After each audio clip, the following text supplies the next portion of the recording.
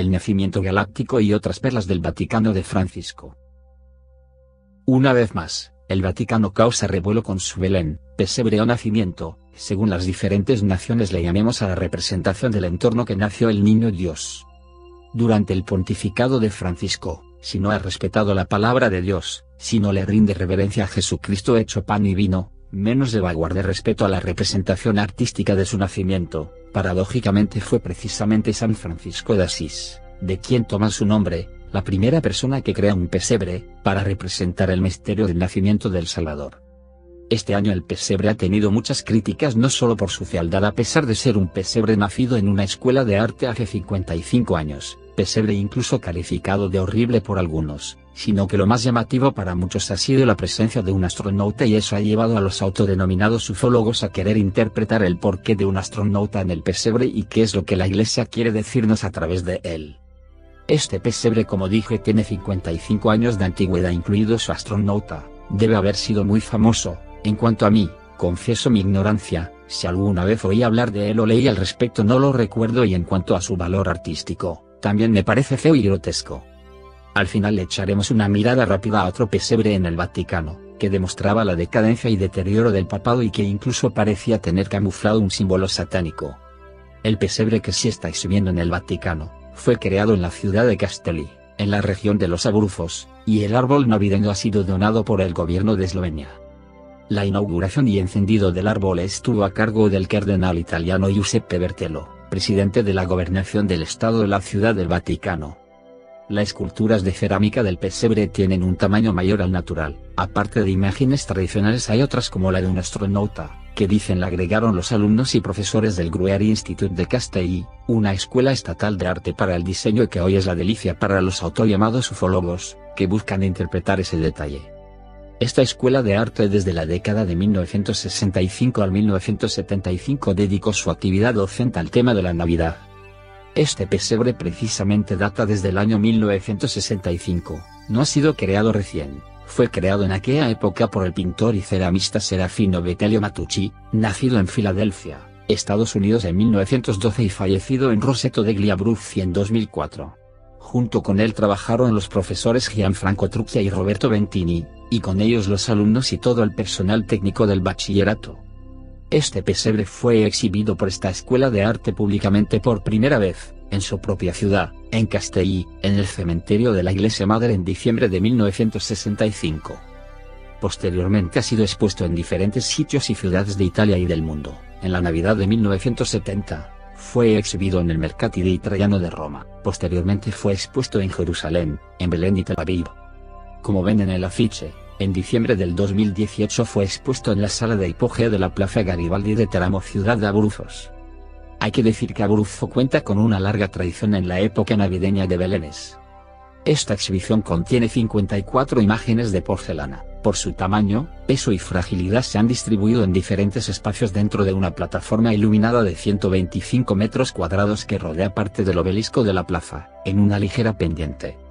La Sagrada Familia tienen en el centro un ángel de gran tamaño con las alas abiertas, queriendo representar la protección angélica de la Sagrada Familia. Al lado izquierdo está San José, la Virgen a la derecha y en el centro el niño de pie, junto a ellos conformando al primer grupo de estatuas, aparte de la Sagrada Familia, están el gaitero, la pastora con el cántaro, el flautista con la flauta de pan, la niña con la muñeca. Quizás la más controvertida imagen es la del astronauta, un astronauta sin ojos, ni boca, si fue hecha en el año 65, no se sabía que vería ni que hablaría, pero al final nadie sabe a ciencia cierta qué es lo que los ojos de los astronautas vieron y sus bocas nunca lo dijeron por lo que esos dos órganos humanos son superfluos para lo que es la representación de un astronauta. Detrás del astronauta en algunas imágenes se ve otra imagen grotesca que no pareciera representar a un alienígena sino a un demonio. El niño, que algunos han renombrado como ricitos de oro que tiene espirales dobles en cada mano, donde apreciamos que donde termina una espiral se inicia otra, símbolo que aparece con gran frecuencia en cuevas de Irlanda pero no solo se ha utilizado en la cultura celta. Las primeras representaciones encontradas datan de por lo menos 5.000 años antes de Cristo y representan la conexión entre los opuestos día y noche, nacimiento y muerte, masculino y femenino. Una escultura que llama poderosamente la atención es la que llamo el verdugo, Es la imagen de un hombre usando capirote o sombrero cónico en punta, pero a diferencia de los penitentes con capirotes que usan los españoles en sus procesiones de Semana Santa, acá el hombre de esta imagen lleva un hacha en la mano, como un verdugo listo a decapitar. Este pesebre no sé si fue el origen de esas manualidades donde se arman pesebres usando un cono y una pelota de tecnopor, pero incluso esos resultan más bonitos. No olvidemos que es durante el pontificado de Francisco donde se han hecho los más grandes ataques a nuestra Santísima Madre, ni siquiera los protestantes la han ofendido tanto como Francisco y su gente, tal como lo que hicieron el año pasado los franciscanos en su blasfema tarjeta navideña, donde se hace pasar por la Santísima Virgen María, visitando a su prima Santa Isabel, al engendro brasilero que quisieron bautizar como la Pachamama, o mejor dicho la diosa del aborto, una indígena desnuda con un feto muerto en su vientre, porque no hay feto que crezca en una bolsa amniótica llena de sangre. Estos franciscanos del Novus Ordo o del Nuevo Orden en español, queriéndonos ver la cara de idiotas dicen que la Pachamama es Isabel, pero en la escena de la visitación quien salta en el vientre es San Juan Bautista, no Jesucristo, y es precisamente la imagen de la mujer vestida que muestra ese instante bíblico, resaltando su vientre que incluso haya muestra a la Pachamama, quien estaría representando a la Virgen, porque no es María en la visitación que se toca el vientre y dice que el niño ha saltado en él sino Isabel su prima. Así que es el engendro desnudo el que representa a la Santísima Virgen, la que ellos llaman Nueva Eva, ¿acaso bíblicamente la Nueva Eva no es María Santísima? Estos franciscanos del nuevo orden con su fe propia de la nueva era como el Papa Francisco quieren que veamos a la tierra como nuestra madre, pero en detrimento de nuestra Madre María Santísima, que es la madre que Jesucristo nos dio desde la cruz. Y uno se pregunta es que son tan ciegos que no pueden ver lo que está pasando, realmente cada día especialmente cuando estas ofensas contra Dios, contra Jesucristo, contra la Iglesia, la Biblia y la Santísima Virgen se dan me pregunto realmente están tan ciegos que no lo ven. Por experiencia personal sé que seguramente muchos sacerdotes cuando le hablas de todo esto lo niegan y no lo pueden creer, hasta que se lo muestras. Ahí se dan cuenta que toda esta información no les llegó porque viven distraídos, perdidos en sí mismo y en el mundo, están totalmente desinformados y creyendo en la buena fe del sumo pontífice, que además los encandila con palabras bonitas, otros simplemente lo niegan con cinismo, y menosprecian esta información y quieren desacreditarla y es que ellos están muy preocupados en cuidar sus negocios, sus inversiones, sus finanzas y no quieren enfrentarse al todopoderoso Francisco, ni su cúpula para evitar tomen represalias contra ellos, es más, andan en busca de más cardenales y obispos para su orden. Pídanle al Espíritu Santo que abra sus mentes, su inteligencia para no dejarse engañar por estos poderes ocultos, llenos de oscuridad, lo obvio, lo evidente no se pregunta, pero hay gente siempre buscando intérpretes como cuando preguntaban si el Papa dijo lo que dijo o no, es decir, lo habían escuchado pero buscaban quien les diga que Francisco no había dicho lo que dijo.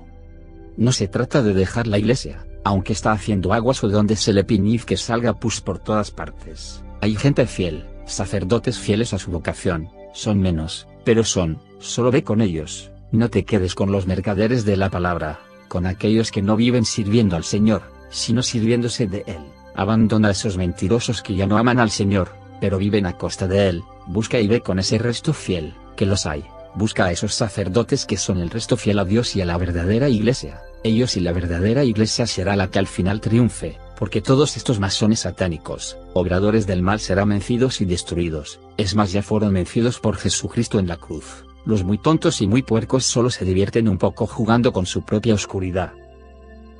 los masones que han secuestrado el Vaticano y exhibieron un pesebre que no tenía nada de pesebre, y en donde los sectores principales, la Sagrada Familia, el niño, pasaban desapercibidos. Este pesebre galáctico exhibido este 2020, incluso es una obra de arte o malogrado arte del siglo pasado.